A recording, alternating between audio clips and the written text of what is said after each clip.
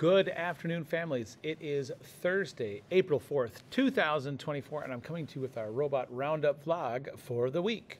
So, we're going to get into our top three and get started. So, number one, uh, today, all of our youngest students came home with ta-da, this year's all school read. So for 2024, courtesy of our amazing PTO, you will receive The Lost Library by Rebecca Stead and Wendy Mass. Now, please look for the YouTube links that are in the Beagle Bulletin and our Robot Roundup vlogs because, in case you don't know, uh, Shorewood's Lake Bluff staff teachers are going to be reading chapters of this amazing book.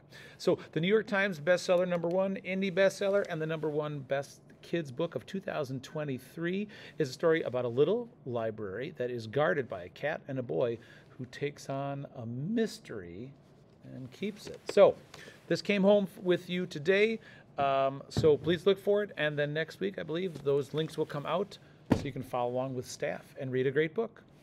Then, number two, next week, Monday, April 8th, 2024, it was going to be the solar eclipse. Now, the eclipse is going to begin at like 12:53 and reach about 50% coverage uh, by about 1:30 in the afternoon going to peak about 208 in the afternoon and will continue to be visible until like 242 most of our afternoon.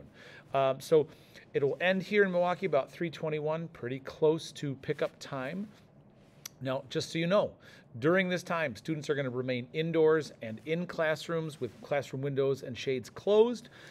This is pretty exciting we know students can get excited about it but uh, the risk to eyesight is kind of not worth taking any chances, but it is a cool science happening event, and the next time it's going to happen, students are going to be from our class 26 years old. So we will be using a live NASA live stream to view and kind of talk about those things in our classroom. So there's that.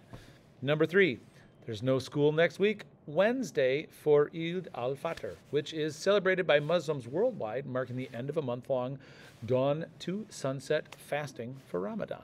So there's all that. Now let's get into our vlog points for the week.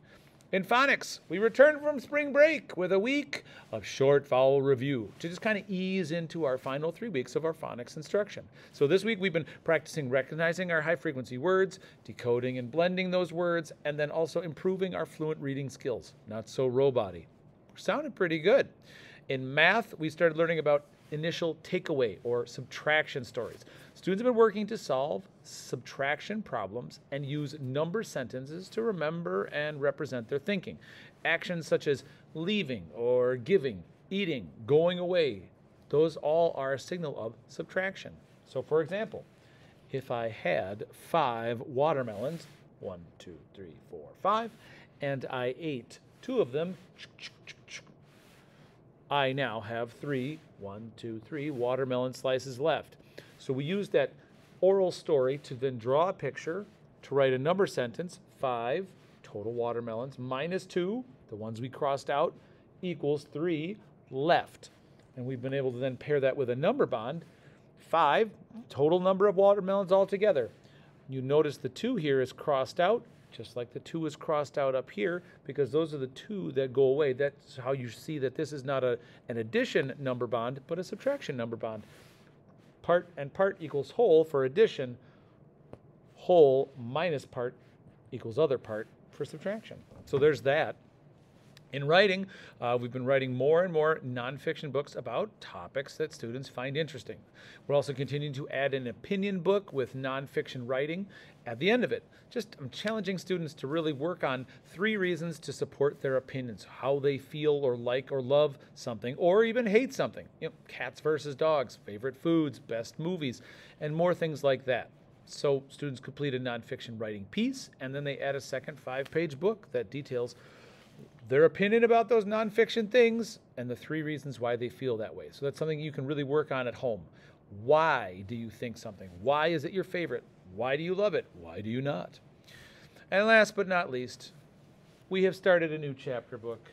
It is the last chapter book in our Toys series called Toys Come Home. Now, even though this is technically the last book that was published in this series, it's actually a prequel. It's how all the characters that we've come to know and love got to know each other. Now, so far, Stingray, of course, Stingray has come into the little girl's room as an actual day of birthday present. Uh, we then met Sheep, who at this time isn't one eared sheep, she's two eared sheep. Sheep still has both of her ears. And then we met another animal named Bobby Dot, who is a walrus. Now, Bobby Dot is not so nice. Turns out, Sheep and Bobby Dot and Stingray were all playing in the backyard. And Stingray somehow managed to not get thrown around, but Sheep did. And Sheep got stuck in a rose bush hanging by her ear.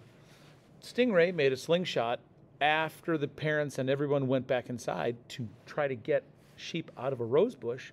But when she did, one of her ears got stuck with a thorn and then pulled off. And thus, we now have a one eared sheep, which is what we've known sheep as all of our other stories.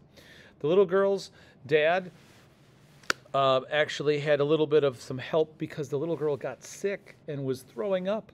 And she threw up all over this walrus Bobby Dot. They washed him, but he got destroyed in the dryer. He was dry clean only. So, unfortunately, the little girl did get a new walrus, but he just wasn't the same. He looked just like Bobby Dot, but his eyes just didn't quite have that life that all the other toys that kind of wake up and talk have. So, the little girl went to the store and asked if she could exchange this regular walrus for something different that she liked. And what do you know? She noticed something brown and wiggly in a basket with a little tail. And of course, who was it? It was Lumpy. So, we are working on reading our last book in our Toys series and enjoying all sorts of wonderful things. Probably not the rain, though. So, I hope you had a fantastic spring break. Um, I hope you have a wonderful weekend. Uh, please stay healthy. Please make sure you're sending students on rainy days with stuff to go outside. We've been inside a lot this week just because it's been too mucky to go out, but fingers crossed it dries up a little bit for next week. So, other than that, I hope you are safe and healthy. Have a wonderful weekend, and I will see you next week. Bye.